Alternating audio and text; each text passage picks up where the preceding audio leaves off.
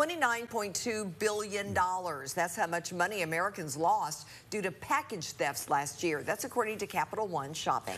Now, as we're just a few days away from Christmas, WATE 6 on your side reporter Ella Wales found out how you can protect your mail from being stolen.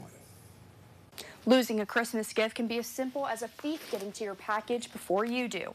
But there are a few tips you can follow to avoid being a victim of porch pirates. It usually increases around the holiday season. Uh, usually during the rest of the year, it's not a major problem in our county, and we're grateful for that. Captain Shane Val with the Anderson County Sheriff's Office says being vigilant with your packages is especially important when traveling during the holidays. Some of the tips we have is uh, doorbell cameras, which have become very popular now, and the price has become relatively inexpensive over the years. Uh, that at least helps uh, us have leads uh, after an incident or a lot of times may deter uh, a thief from even approaching the house. These tips can also prevent break-ins while out of town. Uh, another option is good lighting uh, around the residence.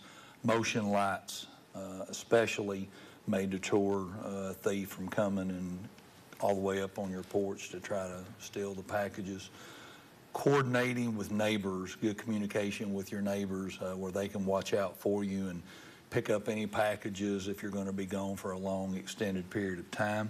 If you do find that a package is missing, filing a police report may help prevent another house from being hit. Call your local law enforcement agency. Uh, if you're here in Anderson County, the sheriff's office certainly will send a deputy to respond. We'll take a report and we'll investigate the best we can. In Anderson County, Ella Wales, WATE 6 on your side.